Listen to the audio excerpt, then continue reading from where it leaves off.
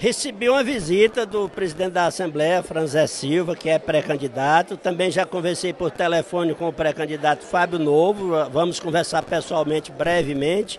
Eu acho que esse diálogo deve continuar. Mas a, na minha, no meu modo de ver, os, as pré-candidaturas devem ser mantidas. Não é hora ainda do PT afunilar para definir um único nome. Nós estamos andando, todos os quatro pré-candidatos, é, fazendo uma avaliação da situação da cidade, percebendo a, a enorme fragilidade da atual gestão, nos tornando conhecido, fazendo conhecidas as propostas do, do, do nosso partido para Teresina. E lá na frente, quando nos juntarmos, teremos todos mais forças para apoiar o único candidato.